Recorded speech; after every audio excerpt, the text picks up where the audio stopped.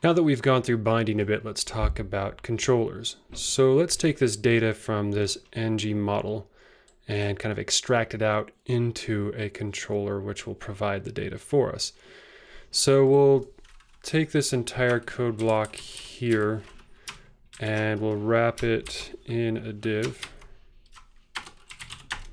and so ng controller and we'll just call this our first controller. Now you can see that um, everything inside this div is going to have the scope of that controller. So let's go ahead and delete that ng model data message. So now we have nothing providing that uh, data message to our uh, to our, our bounded our bound expression. So if we set up our script, we'll just say main.js is a file and create it. And let's define something something called first controller. Uh, first controller.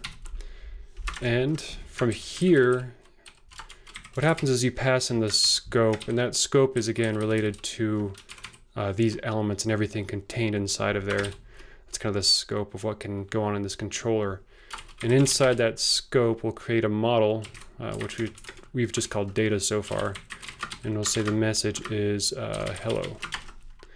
So if we refresh, we can see we're now getting, um, we're using the same data message, but now we're getting the hello from the controller in here. So if we did, you know, the panel again, and we refresh from there, you can see we create the panel, but now the data is being provided from uh, a JavaScript file. So you can write your behaviors and everything inside of here instead of just trying to relate everything to a uh, to some sort of user input. So any sort of, so in your controller you can use the, the service calls or other things to get data to push into your view.